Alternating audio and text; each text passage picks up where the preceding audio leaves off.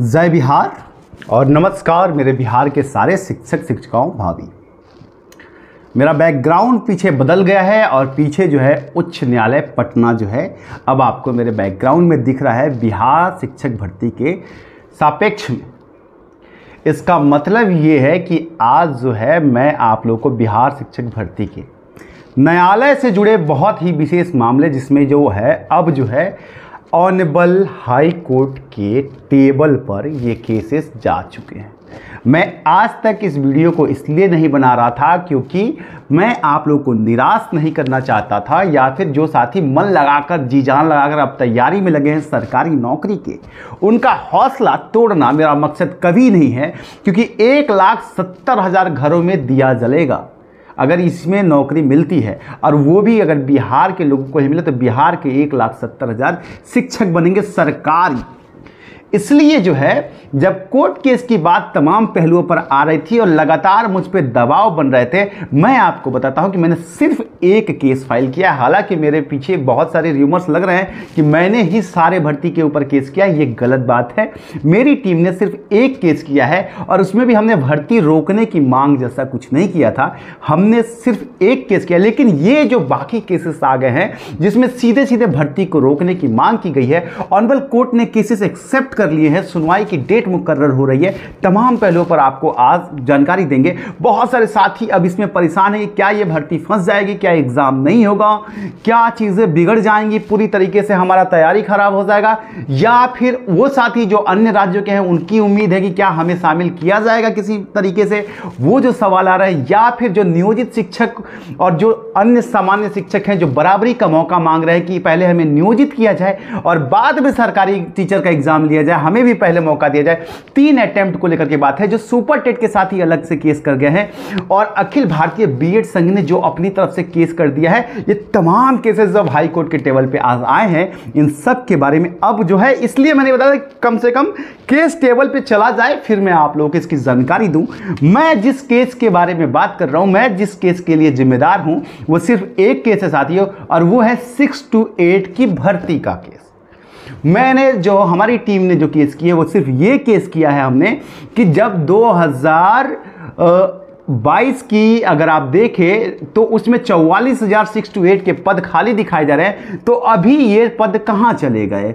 और six to eight के पद कहाँ चले गए? और उनके, वहाँ के भर्ती का, वहाँ के बच्चों का क्या होगा भविष्य? यही एक हमारा केस था, जिसको लेकर के हमने लड़ाई लड़ी है कि अलग से सिक्स टू एट की भी भर्ती दी जाए। चाहे इस नियमावली में डाला जाए, इस एडवर्टाइज विज्ञापन में डाला जाए या फिर अलग से किया जाए, क्योंकि सरकार से जब हम लोग एक बार गए थे, जब हमारी बात हुई, जब मैं पटना गया था तो कहा गया था कि सिक्स टू एट की भर्ती आएगी, अलग से हम देंगे, लेकिन अभी तक दिया नहीं गया और बाद में अन्य चीज़ें भी आने लगी तो बस हमने एक केस किया। लेकिन यहाँ पर वीडियो को शुरू करने से पहले ही मैं आप लोग को कुछ ऐसी चीज़ें दिखा देता हूँ। ये जो न्यूज़ आर्टिकल आप देख रहे हैं, ये देखिए।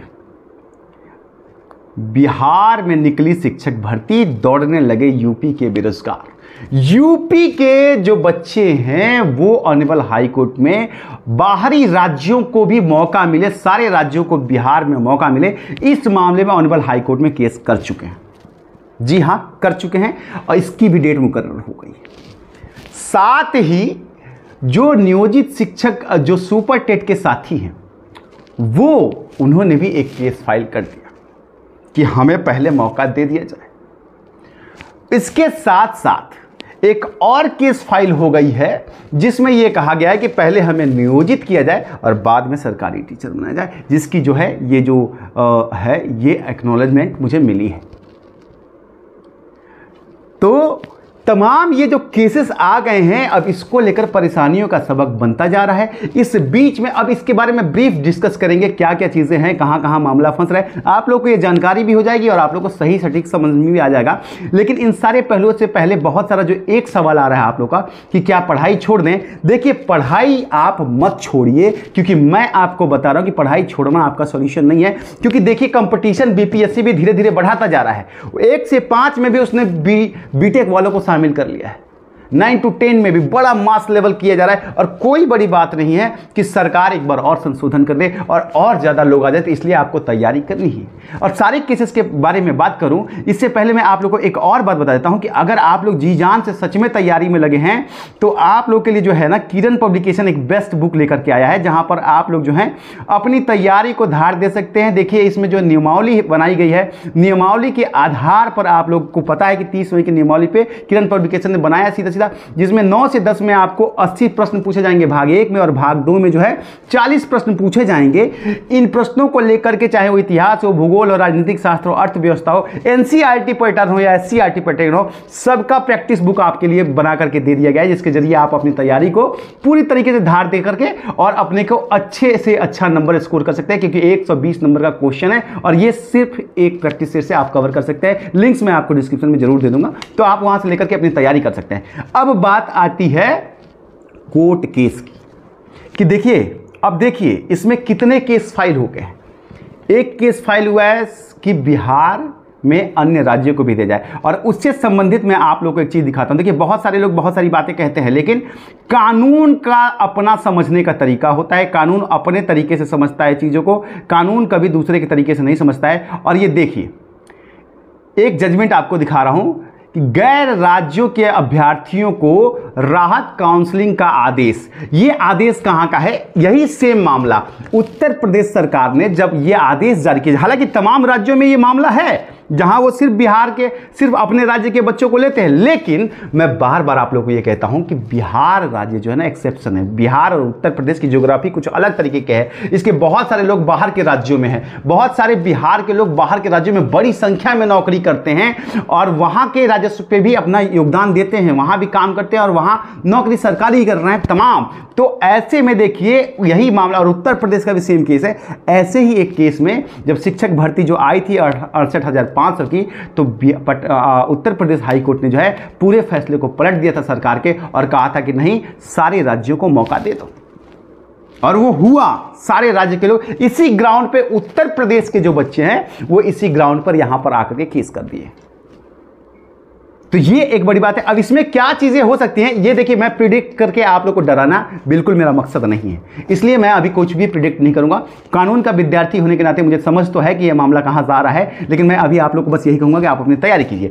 दूसरा जो केस फ़ाइल हो गया, जिसका आप ये देख रहे हैं जिसका एक्नोलॉजमेंट है मेरे पास, जो रितिका केस लड़ रही हैं, हमारी कलीग हैं।